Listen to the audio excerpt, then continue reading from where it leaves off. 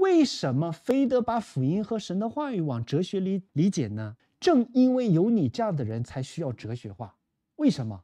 因为你单从圣经里面简单的语言去描述的时候，你，你又没有办法清楚的去阐述圣经里面的告白，然后你又不能去跟人讲话的时候总背经文，你总要用你自己的话去阐述福音、解释福音、说明福音，对不对？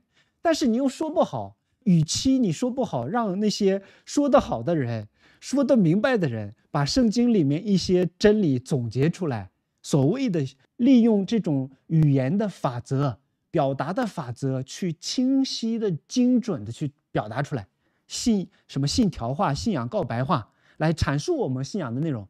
我们去用这种精炼的内容去规范我们的言语去说，对不对？毕竟是圣经这么厚一本书，六十六卷圣经，我们如何去浓缩精炼的去说明呢？有人已经给我们做做好了，对不对？把基督教核心的信仰告信仰以信经信仰告白的方式，是要理问答的方式给我们表述出来。这个过程可能是比较这种逻辑化或者是哲学化的过程，但是它不是那种世俗的哲学，抵挡神的那种思考哈。所以不要对哲学本身过度敏感，这种敏感也是反智、反理性、反智传统来的哈。我们里面的毒素要排毒，传统我们传统家庭教会的这个童工们、弟兄姐妹们，呃，我们一定要意识到我们的祖先、我们可敬的先辈们、我们老一辈的信仰当中留给我们怎么样的优良传统和一些毒素。所以今天对哲学这么反感，就是因为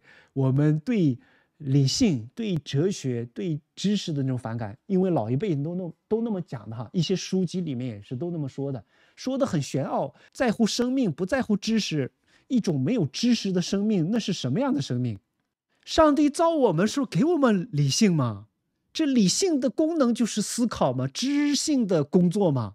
一个人把知性抽除了，不在乎知识，不在乎知性，那那种生命是什么？尼托生的神学哈，三元论，灵是直觉神，魂是自我自觉，体是感知世界自然。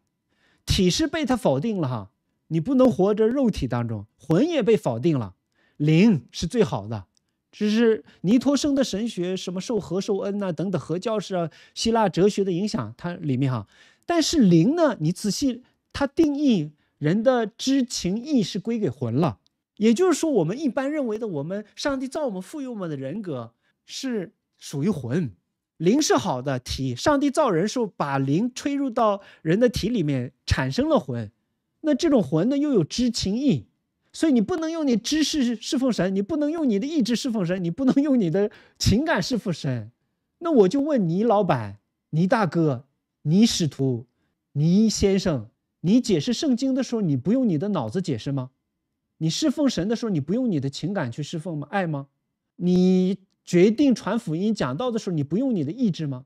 那请问你是不是僵尸呢？虽然不敬，但是我要把这个事情一针见血的解释清楚，以后再不要重复这样的错误。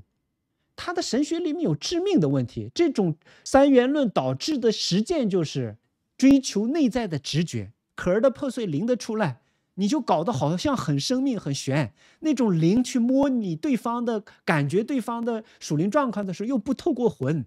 那就是属灵的直觉，用我的话就是直觉，不是灵，是直觉。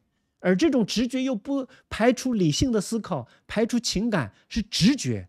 用动物世界的那个画法，就是说到那个是动物的本能、本能、直觉。所以，我们受到尼托生的思想，受到这种这种类似的传统，我们对哲学、对知识、对理性是有极强的这种敌对感，哈。没有必要，我们抵挡的是反真理的理性、错误的哲学。你不要反你自己的存在，因为你灵魂里面具有理性、情感、意志，你不能反你自己吧？除非你把自己存在抹除了。要尊重你自己，上帝造我们都是好的，为什么要反对呢？问题是我们不是出问理性的问题，是我的理性不服约束，不被圣灵引导，不被圣灵光照，不被真理约束，我的理性乱想。我的思想产生的结果，制造出了一些错误的教导、错误的哲学。重要的是这个问题，我的情感也是好的，问题是我的情感泛滥，不不被圣灵约束，纵情糜烂的情感，糜烂的一些情绪，意志也是好的，我们要顺从神嘛。但是问题是我的意志就像个野驴一样，脱缰的野驴，不服上帝的真理和圣灵的约束。所以问题不是知情意，不是知识本身的问题。我们要追求知识，没有知识没有办法活的。作为农民没有知识你怎么种地？作为现代人没有知识，你可能手机都不会用不了。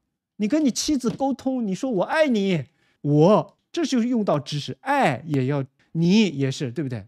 所有的都离不开知识，为什么要反知识呢？好像信仰里面不需要知识的，信仰里面需要真理的知识，对不对？所以这个，因为我们老一辈给我们洗脑，当然他们不是恶意的哈，非常近前的，稍微有点无知的，因为他们对这个整个基督教信仰认识是偏见的、偏偏颇的嘛，所以给我们培养了这样的观念，所以这些应该要拔除哈，一定要更新，不然的话，你这样继续教导的话，你在毒害你们教会的弟兄姊妹。或者是活在伪善里面，一方面知识没有用，另一方面你在讲道的时候都是在讲知识，离开知识、理性、哲学，你是没有办法活的。人这种存在就是理性的存在，要思考的嘛，要讲话的嘛，对不对？